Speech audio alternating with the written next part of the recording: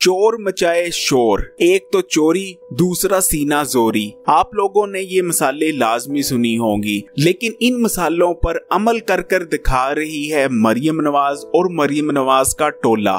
عمران خان صاحب نے امریکہ میں کہا تھا پاکستان جا کر سب سے پہلے ان چوروں کی جیلوں سے اے سی بند کرواؤں گا۔ دوستو، آپ تمام لوگ جانتے ہیں کہ خان صاحب اپنی بات کے پکے ہیں۔ عمران خان صاحب جو کہتے ہیں، وہ کر کے دکھاتے ہیں۔ لیکن اس بات پر عمل درامت ابھی تک نہیں ہو سکا۔ اس کی ایک وجہ ہے۔ ویڈیو میں آگے بڑھیں، اس سے پہلے ایکسپوز ٹی وی کو سبسکرائب کر لیں۔ اس کے بعد جو بیل کا آئیکن آتا ہے، اس کو کلک لازمی کیجیے گا۔ آپ صرف بیس دن پیچھے چلے جائیں۔ نواز شریف کے لیے گھر سے کھانا پک کر آیا کرتا تھا۔ کہنے کو تو نواز شریف دل کے مریض ہیں۔ ان کو دل کی شدید بیماریاں لاحق ہیں۔ لیکن نواز شریف کے لیے گھر سے جو کھانا پک کر آیا کرتا تھا، اس میں شامل ہوتا تھا بھنا ہوا گوشت، کریلے کیما اور دوسرے ایسے بہت سے پکوان جو دل کا مریض کھانا تو چھوڑیں، دل کا مریض ان پکوانوں کے بارے میں سوچ نہیں سکتا۔ ایسے ایسے پکوان بن کے آیا کرتے تھے نواز شریف کے لیے۔ لیکن پھر حکومت میں یہ احساس پیدا ہوا کہ اگر اسی طرح نواز شریف جیل میں بیٹھا، عیاشیاں کرتا رہا، تو کبھی پیسہ واپس نہیں کرے گا۔ تو تقریباً پندرہ سے بیس دن دن پہلے کی بات ہے، نواز شریف جو گھر سے کھانا آتا تھا، اس پر پابندی لگ گئی۔ اس کی کچھ سیکیورٹی ریزنز بھی تھے۔ نواز شریف کے لیے جو گھر کا کھانا آتا تھا، اس پر تو پابندی لگا دی گئی۔ لیکن نواز شریف ابھی بھی جیل میں پوری عیاشیاں انجوائے کر رہا ہے۔ نواز شریف کے سیل میں ٹی وی موجود ہے۔ اس کے علاوہ نواز شریف کے سیل میں ایئر کنڈیشن موجود ہے۔ وزیر اعظم عمران خان صاحب کے بارے میں پوری قوم جانتی ہے۔ عمران خان صاحب جو وعدہ کرتے ہیں، وہ پورا کرتے ہیں۔ لیکن نون لیگ ایک مافیا ہے اور ایک چیز یاد رکھیے گا، مافیا کو ہرانا اتنا آسان نہیں ہوتا۔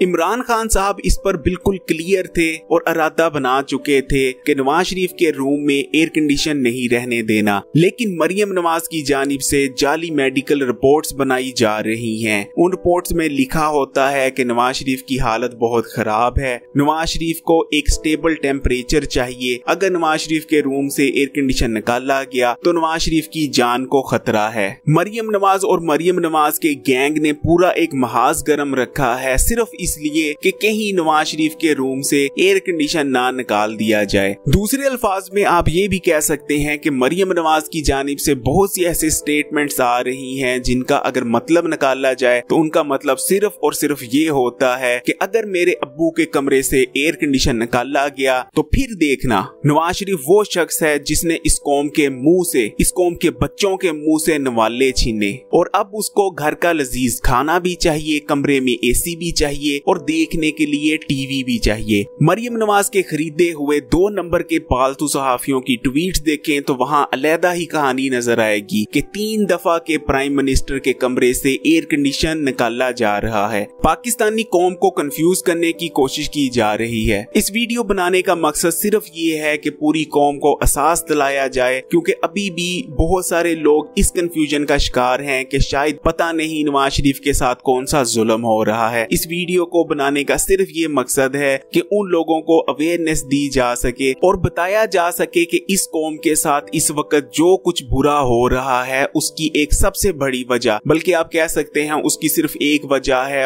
وہ ہے ہمارے ماضی کے چور اور کرپ حکمران۔ اب ان حکمرانوں کا احتساب ہو رہا ہے اور ان کی جانب سے چیخیں ماری جا رہی ہیں۔ ہیں ان کے ہواری شور مچا رہے ہیں اور چور مچائے شور کی ایک مثال پیش کی جا رہی ہے۔ لیکن ابھی بھی بہت سارے لوگ اس کنفیوژن میں ہیں کہ شاید نواز شریف کے ساتھ کسی قسم کی کوئی زیادتی ہو رہی ہے۔ نواز شریف اور نواز شریف کے ہواریوں کے ساتھ جو کچھ ہو رہا ہے، وہ ان لوگوں کی کرتوتوں کا پھل ہے۔ نواز شریف کے کمرے میں ایئر کنڈیشن ہونا چاہیے یا نہیں ہونا چاہیے، آپ کمنٹ کر کے اپنے خیالات کا اظہار کریں۔ ویڈیو کو لائک کریں شیئر کریں کمنٹ کریں۔ اور اگر ابھی تک ایکسپوز ٹی وی کو سبسکرائب نہیں کیا تو لال بٹن دبا کر ایکسپوز ٹی وی کو سبسکرائب کر لیں۔ اس کے بعد جو بیل کا آئیکن آتا ہے، اس کو لازمی کلک کیجیے گا۔